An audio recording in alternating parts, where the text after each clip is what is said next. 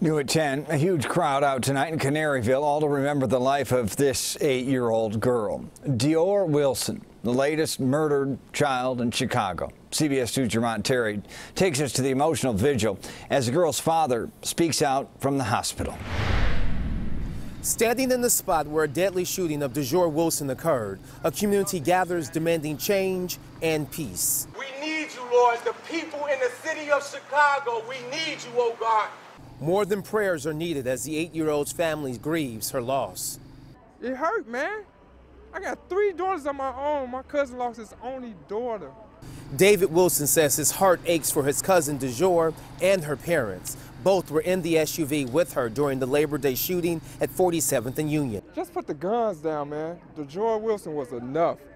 CPD says a gunman in this black Dodge Charger opened fire on the SUV Lulu Dajore was riding in, killing her and sending her father to the ER. I couldn't even help my baby. I, I couldn't move. My leg is completely broke.